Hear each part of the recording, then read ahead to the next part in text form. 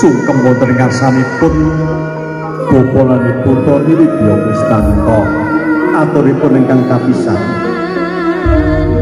Temanten sak loro nyuwun tambahing pangestu mugi-mugi nggene romangun bali wisma tansah kalis ubedo tansah pikantuk pangayumaning Gusti ingkang Maha Agung.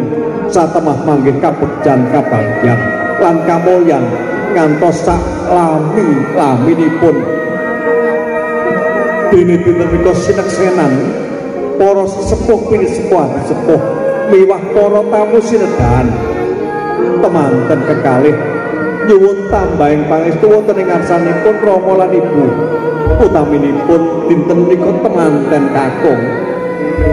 Sowan wonten ing ngarsanipun Rama lan Ibu nyuwun tambahing pangestu miwah nyuwun pangapunten sedaya kalepatanipun wiwit nalika alit ngantos dumugi wekdal sak menika. Dene ingkang kaping tiganipun atur kawuningan. Bilih lampuh labet pangorbananing Rama lan Ibu menika datang winates. Boten badhe saged liniru tan bisa linukar ginakaken menapa kemawon.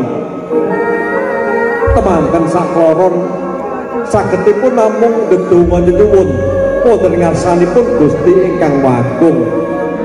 Mugi-mugi Rama lan Ibu tansah pinaringan bagas lan maras panjang yuswanipun. Masaken momong-momong sing temanten kalih momong-momong putra wayah syukur bagi dumugi buyut lan canggah. Rumos gergel nondo-ondo sak jroning manah bapa lan ibu Toni Widya Kristanto. Nampi sungkemipun temanten kekalih. Yo ngger yo nduk.